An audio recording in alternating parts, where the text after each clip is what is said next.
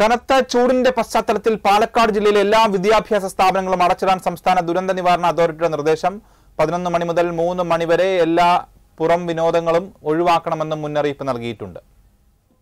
വിവരങ്ങളുമായി Angel Mary Mathew ചേരുകയാണ്. Angel. Anu Palakkad തുടർച്ചയായ അതിതീവ്ര ചൂട് രേഖപ്പെടുത്തുകയും വെള്ളിയാഴ്ച മുതൽ ഉഷ്ണതരംഗം റിപ്പോർട്ട് ചെയ്യുകയും ചെയ്യുന്നുണ്ട്. ഇതിന്റെ പശ്ചാത്തലത്തിൽ പാലക്കാടിന് ഇപ്പോൾ രണ്ടാം വട്ട ഉഷ്ണതരംഗ മുന്നറിയിപ്പായ ഓറഞ്ച് അലർട്ട് പ്രഖ്യാപിച്ചിട്ടുണ്ട്.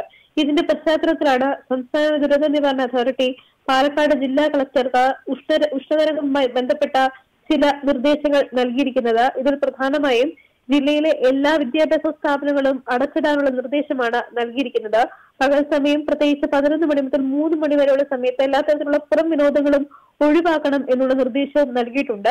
ആശുപത്രികളിൽ ഗർഭിണികളായ സ്ത്രീകൾക്കായി പ്രത്യേക കൂളിംഗ് സംവിധാനം ഒരുക്കണം കിടപ്പ് രോഗികൾക്കും ഒപ്പം തന്നെ വയോജനങ്ങൾക്കുമായി പ്രത്യേകം സംസ്ഥാനം ശീതീകരണ സംവിധാനം ഒരുക്കണമെന്നും നിർദ്ദേശത്തിലുണ്ട്. തണ്ണീർ പന്തലുകൾ ജില്ലയിലുടനീളം ഒരുക്കണമെന്നാണ് നിർദ്ദേശം നൽകിയിരിക്കുന്നത്. ഈ നാല് നിർദ്ദേശങ്ങളാണ് പ്രധാനമായും സംസ്ഥാന ദുരന്ത നിവാരണ അതോറിറ്റി പാലക്കാട് ജില്ലാ കളക്ടർക്ക് നൽകിയിരിക്കുന്നത്. ഉഷ്ണതരംഗ മുന്നറിയിപ്പ് നിലനിൽക്കുന്ന സമയം വരെ നിർദ്ദേശങ്ങൾ പാലിക്കണമെന്നാണ് സംസ്ഥാന ദുരന്ത നിവാരണ അതോറിറ്റി അറിയിക്കുന്നത്. ഇത് സംബന്ധിച്ച് അന്തിമ തീരുമാനമെടുക്കേണ്ടത് ജില്ലാ ദുരന്ത നിവാരണ ജില്ലാ ദുരന്ത നിവാരണ അതോറിറ്റിയുടെ ചെയർമാൻ കൂടിയായ ജില്ലാ കളക്ടറായിരിക്കും.